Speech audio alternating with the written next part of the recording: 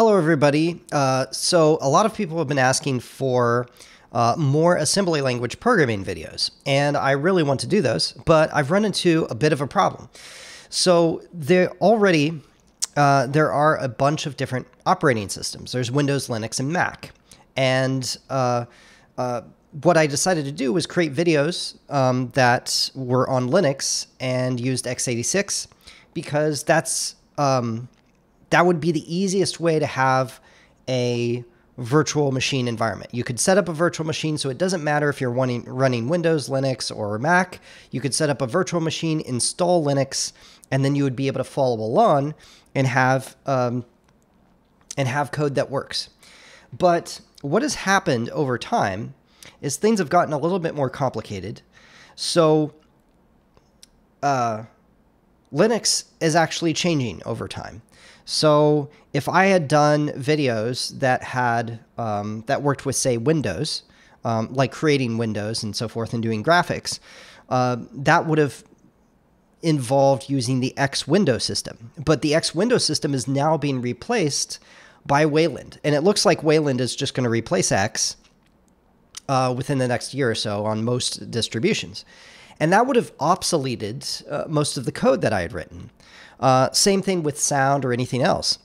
Uh, there's another thing that has happened, and that is uh, there's a proliferation of platforms. So 10 years ago, basically everyone ran an x64 processor. Uh, but today, uh, uh, Apple has switched to ARM processors. There's people who run Raspberry Pi as their main computer, and that runs an ARM processor.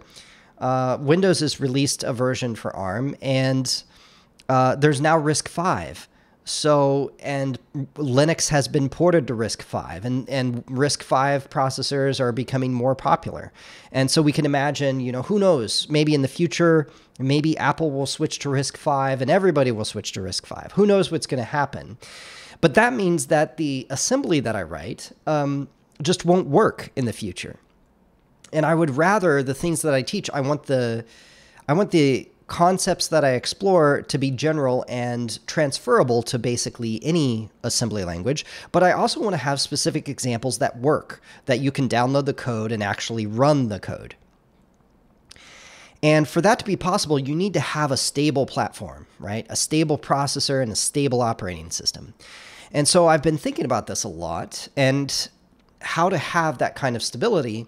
And what I came up with is uh, DOSBox, right? So DOSBox is an emulator for an x86 processor that also runs a kind of emulated version of DOS, right? So DOS is the disk operating system, and people uh, uh, really, I mean, the original one that ran, ran, on most people's computers was MS DOS, right? There are several different kinds of DOS, but MS DOS was the most uh, popular version that ran on computers. And so DOSBox allows you to have this environment that's the same for everyone. It runs on Windows, Linux, and Mac, and there's an even uh, there's even a version of DOSBox for DOS, uh, which is kind of funny. But the three most common operating systems can all run this emulator, right? And it's very simple. It's just a program and you run it and it emulates x86 and DOS. And it has a, a stable system that allows us to uh, that allows us to write code and many years into the future, as long as you have like a version of DOS running on some kind of emulator, it will work. So it doesn't even have to be DOSBox. Uh, it could be QEMU or VirtualBox or anything like that. Those those virtual machines can actually emulate x86 processors, and you can install DOS on them and uh, and then run all of your assembly code. So I think this actually works out very well. And so that's what I'm going to do. I'm going to try this out and see how it works for the assembly language series. And I'm going to be using DOSBox X. There's lots of, there's actually several different versions or different forks of DOSBox, the original DOSBox, uh, which still exists. Um, but I'm going to use DOSBox X because uh, it has a graphical interface for controlling the uh, for controlling the uh, options, right? So normally you would have to go and find a text file and, and edit the text file. uh, DOSBox X gives you a nice little graphical interface to change the um, change the options. So I think that'll make it nice and easier for other people. Um, there's a bunch of uh, documentation for DOSBox, and you know some people can install you know Windows on it, you know Windows 98 or Windows 95, which is kind of cool.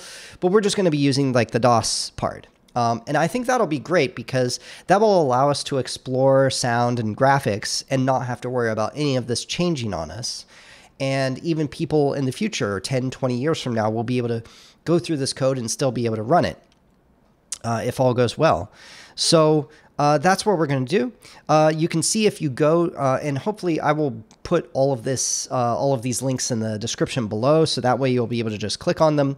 But here is the front page of DOSBox X.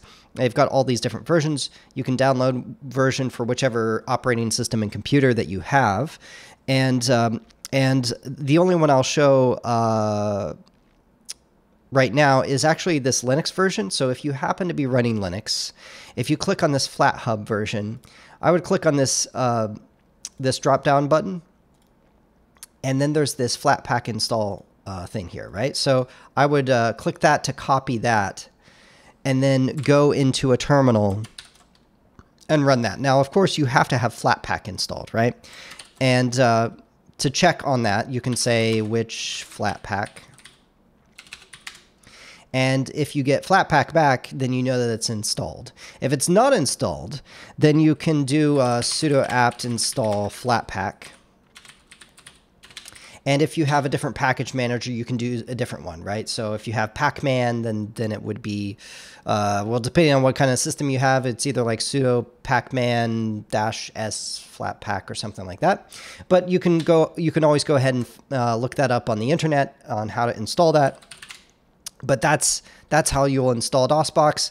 All the rest of the operating systems, you can install them uh, in the normal way that you would. So you uh, so if you have say um, Windows, you can uh, download Windows for you know XP and Plus or Vista and Plus. And if you have, say, Windows 10 or maybe Windows 11, then you'll want the Vista Plus one, right? You'll download the Vista Plus, and it will be a normal uh, setup executable right? And you just run that executable. It'll put you through a wizard and you can install DOSBox.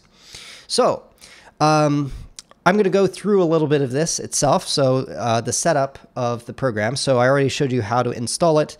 And then after installation, there's a little bit of configuration that will make things a little bit better for you. And that's what I'm going to show.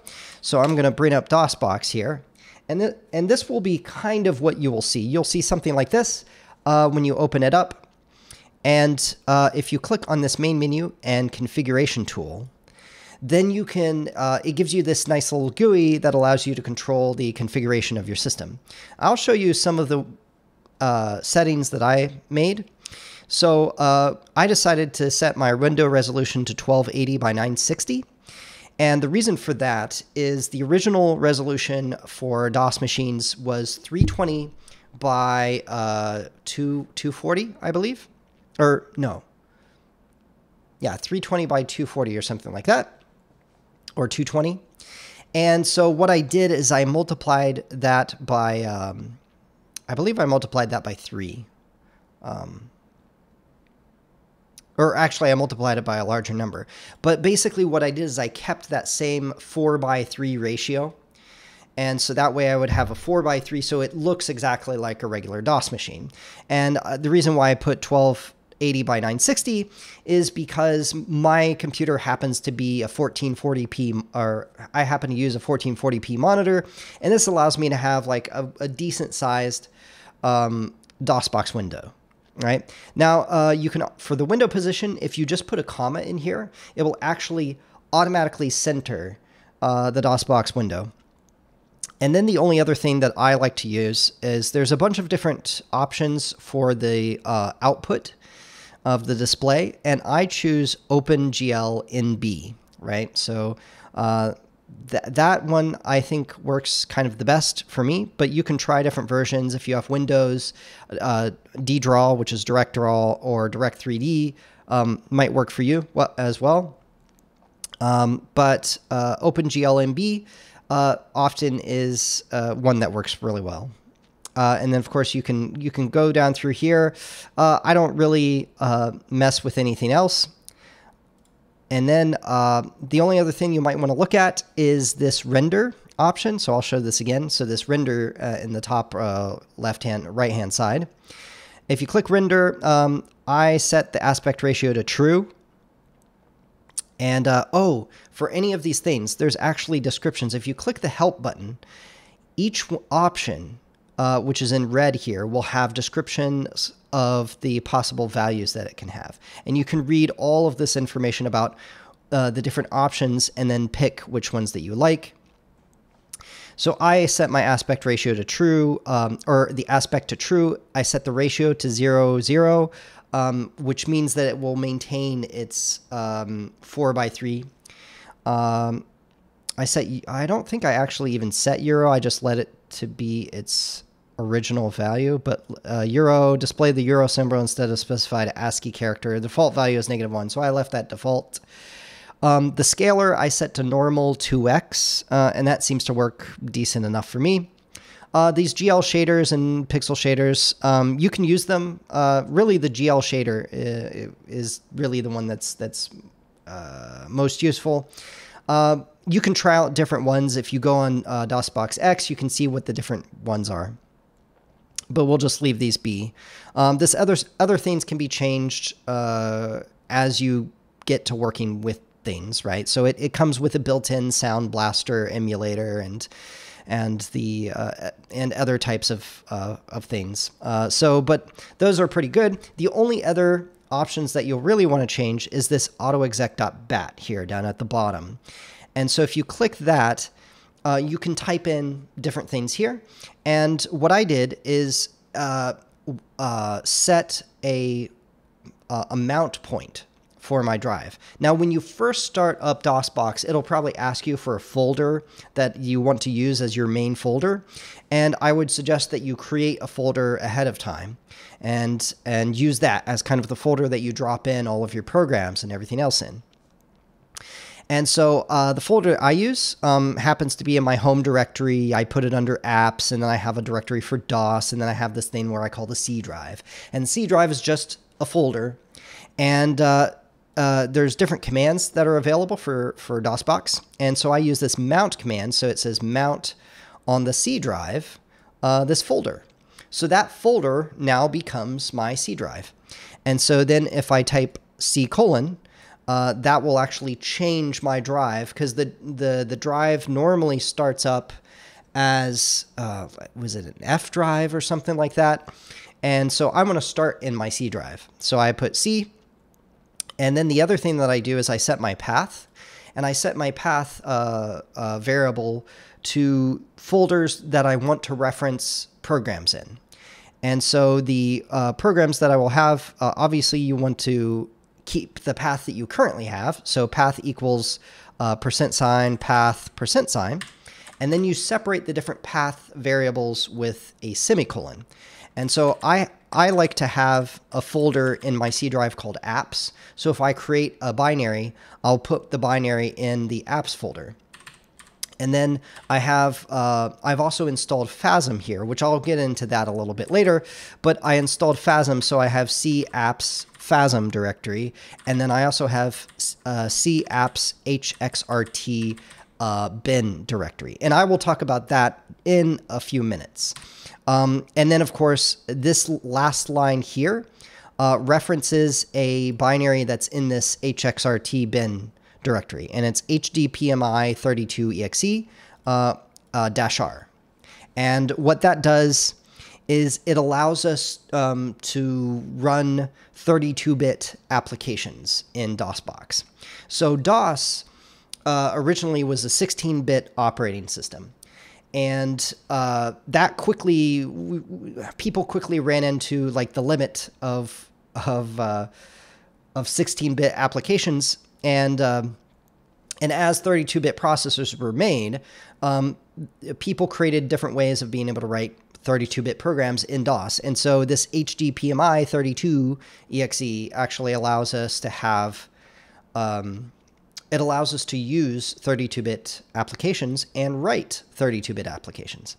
So I'll talk a little bit more about that a little bit later, but I would encourage you to have something a lot like this in your um, in your autoexec.bat uh, file. And of course, you'll want to save all of these. I'm canceling out of them because I already have them set, but that's fine. Um, oh, and then the other thing that I would do um, at the very end is put CLS. And the reason for that is it will clear the screen. So that's what CLS stands for. And so if I save this and restart, what will happen is it starts me in my C drive, right? So instead of seeing the welcome page, I'm just at my C drive. And so that's kind of a nice thing to have. So the next thing that I want to talk about is installing software on here. So there's only a couple things that we need, and we saw that in our autoexec.bat. And one of those things is FASM. So uh, FASM is the flat assembler, which if you've seen my other two um, video series, I've used FASM uh, for assembly programming in both of those playlists. Um, so you can, there's actually a, a, version of FASM for DOS, and uh, you can find it here, flat assembler uh, 17332 for DOS. Um, and uh, if you download this, um, it'll download as a zip file, and you can unzip that file, and it will become a folder and then I what I would do is I would rename that folder to FASM and then copy that folder into your uh, C drive folder or whatever you called your folder that you're using for uh, your C drive. And so that's exactly what I did. I'll show you uh, for files. I'll show you apps, DOS, uh, C drive. Uh, so you can see I've got apps dev. And so if I go into apps, you can see I have a FASM directory. And so this is the unzipped FASM directory. I just renamed the FASM directory. Instead of it being a long name, it's just FASM. And then these are all the files that are inside of it. And so that's all this is. This is my C drive. I've got a couple different things in here. I've got some games. I've got all kinds of cool stuff. Um, and then uh, this is my apps directory. In fact, uh, probably what I'll do here is rename this. Uh, instead of dev, I'm going to call it code. There we go. So that's good. And then uh, what we'll do is I'll exit out of this. Uh, the other thing that we'll need is um, that um, uh, DMPI, right? So it's called a, like a DOS extender, and that allows us to, to run 32-bit applications in DOS. And so there's a couple different places you can get these things. Um, uh, one of them here is this HX DOS extender, and I'm going to put all this in the description. And this is at uh, japheth.de uh, slash hx uh. And uh, he has a, a bunch of uh, interesting information here for this DOS extender, the history and how it works. Um, but really all you need is this DPMI um, 32 exe. And so if you scroll down, he shows like, oh, hey, I've got like OpenGL and all this other stuff, and it works for all kinds of computers. But then at the very bottom uh, are the releases that he's got for it. And so he's got this one, this 216 stable, um, and this release candidate, uh, 217. And that one is password protected because on some Windows antivirus programs, they don't like the, the DLL, one of the DLLs that's in there. Um, so I would recommend getting like the 217 version. Um, uh, and get the runtime, right? The X, uh, X, HXRT runtime. That's really what you need. Um, and that'll work. Now, there is another place that you can go. There's actually a bunch of these extenders all over the internet, but um, there's another one here. Um, uh, there's a GitHub, and this one is a little bit newer. Um, or it's being kept up. I'm not sure what all other changes they really need to make because DOS hasn't changed, but uh, this um, this GitHub repository has them, and if you go to the releases, um, they talk about all the different ones here. Um, and what you really want is the HXRT. Um, and of course, he's releasing version 2.20, so it's HXRT220.zip. That's the one that you want. And so you'll download that, you'll unzip it. Uh, no matter which uh, place you get it from, you download and unzip it. And of course, let's see. So let's go to the files. Um, apps, uh, DOS, uh, C drive. Let's go to apps and I copy it to my apps directory. So I called it HXRT and um, so or renamed it to that uh, if it was longer, and then it had all of this stuff in there. Um, now mine is from the Japheth site, um, but yours will probably be the same if it's from the other site.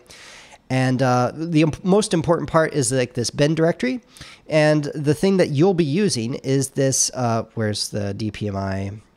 I, I, believe it's HDPMI uh, 32 uh, EXE. And so that's kind of the most important part. But just have it in your uh, apps directory. Um, and then what you can do is when you have it in your apps directory, you can go to DOSBox and you can go to the configuration tool and autoexec.bat and you can make sure that you have just this path in there, right? Apps, HXRT, and bin. And so that way you can just reference hdpmi32.exe. And this little dash R here that stands for resident. Uh, so what, what happens in DOS is normally one program has complete control of the computer. And there's only one program that can be allowed the uh, loaded into RAM at one time. What R-R does is it allows a program to stay resident, which means it, it gets loaded into memory and it stays in memory. So then you can load other programs too. And that's uh, the reason why that's important for this is that HDPMI 32 um, has all of the, the code to be able to allow 32-bit programs to run. And so you want that to still be in memory all the time. You don't want it to disappear. So that's that's why we have the dash R. So basically set set your uh, environment like this, and that should be good. Um, now, what's really cool about um, the um, what's very cool about uh, the assembler, like the FASM assembler, is uh, I believe it's FASM D, uh, is the um, it actually has an IDE that's built for DOS, which is really cool. So if I go back out here and say go to code I've got some uh, code here, but if I say uh, FASM D, it'll open up the assembler IDE, which is pretty neat. Um, and there's there's actually a bunch of different um, keyboard commands, and I don't exactly remember them right now, but there's actually a README that tells you all of the keyboard commands that exist for this that allow you to compile and run and all these things from the IDE, which is great. And so if you hit escape, uh, you can escape out of the IDE. And so that's what I imagine I will use for creating our assembly programs in DOS. We'll have a nice text editor um, that allows us to uh, write our programs. And so that's pretty good. So the next thing that you'll want to do if you're following along is you'll now have um, apps, code, and uh, well, I mean, you don't need games or anything like that, but you'll probably want to have apps and code. So if you go into apps, right, and uh, dir is show the directory, um, you'll see we've got uh, a bunch of different apps here. I, I have a bunch of different apps, but you should have FASM and you should have HXRT. So if you go into FASM, uh, you'll see a bunch of different things here. And one you'll see is an examples directory. So if you go into examples, uh, you'll see that there's a bunch of different examples here, right? So what we'll do is we're going to pick one. We're going to say exe demo. Uh, we'll see what this one looks like. And uh, this one already is uh, compiled, but if you want to compile it, you can just go fasm exe demo uh, dot asm, right? And if we run this, it should run the fasm compiler just like it would on Linux or, or Mac or any other place. And so it says how many passes it, it, it went through, how many bytes it used. Uh, so then if we look, we've got exe-demo.exe. So if I do exedemo, um, and in DOS, you can just type the name and hit enter, and it will assume you want the exe. Um, so that's the hello world program. So that's pretty nice. So if I do FASMD, and say exe demo.asm, I can open up that file, and this shows the file, and it's this is great. So we've got um, we've got syntax highlighting and everything, and we've got a full program that's showing us hello world. Uh, we can go out and try another example program. Let's try the Mandel program, which should be a, um, uh, I think it's a Mandelbrot set. So um, this one happens to be a COM file. So if we do, um, uh, let's take a look at it, fasmd mandel.asm. And you'll see that this, uh, this program is a little bit bigger. Uh, and you see that it's actually using graphics. We have a VGA palette, um, and we're doing iterations, um, and this is great. So let's compile this. Let's do fasm mandel.asm, and it runs in a couple passes. It only took 0.1 seconds. And if we do Mandel, uh, it will run this code that creates the Mandelbrot set, uh, visualization of the Mandelbrot set. So that's pretty cool. So now we know that it works. So if all of this works for you, then you've properly set up your uh, programs. If it doesn't work, the most likely thing um, uh, that's wrong is if if trying to run say fasmd doesn't work, it'll give you an error, right? And it'll say you know there's it it's missing like an extender or something, and that means that you probably need to set